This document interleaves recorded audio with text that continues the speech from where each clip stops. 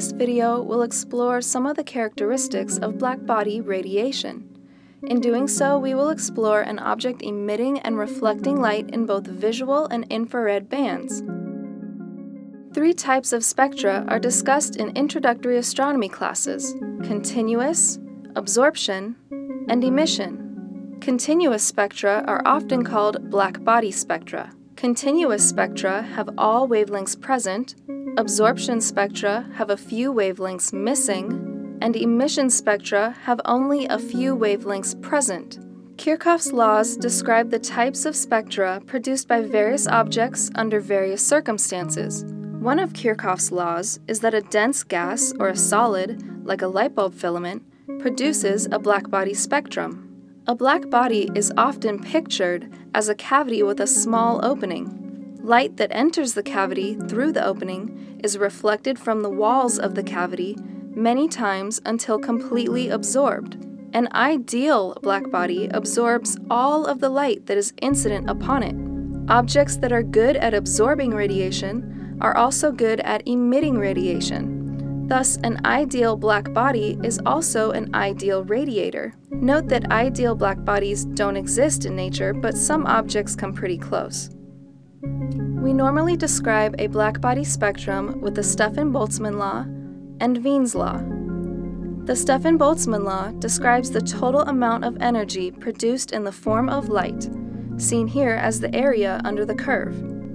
Wien's law identifies the wavelength of light at which the most light is produced, seen here as the wavelength at the peak of the curve. As a blackbody's temperature is increased, the total amount of light energy emitted increases and the peak wavelength moves to a shorter wavelength of light. The apparatus shown here is simply a block of aluminum with a cavity, a hole drilled in it. Note that the outside surface of the block is reflecting primarily visual light and emitting primarily infrared light because of its cool temperature. The hole appears dark because no visible light is getting reflected by it. What do you think the block and hole will look like in infrared light? Your instructor will now stop the video.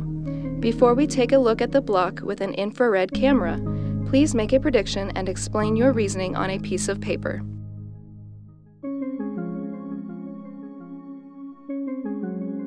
Let's now switch to an infrared camera. Note that the block is dark. This occurs because at room temperature, a blackbody spectrum peaks in the infrared. Less light is being emitted in the infrared than is being reflected in the visual by the block. But note that the hole appears quite bright. The entire inside surface of the cavity is emitting infrared light, but it is only coming out through the hole. Thus we have much greater intensity than from the outside surface of the block. Note that we have heated the block to minimize the effect of infrared light emitted by the demonstrator reflecting off of the block. Let's bring in two other blocks made out of brass and steel that have holes drilled in them. Note that the outer surfaces of all three blocks appear quite different depending upon how the material of their composition reflects incident light. All three holes still appear dark. Visual light is going in and reflecting around until absorbed, but at room temperature, very little visual light is being emitted and coming out. Let's switch back to infrared light. Note that all three surfaces still appear differently. The three substances emit and absorb radiation differently, a parameter physicists call emissivity.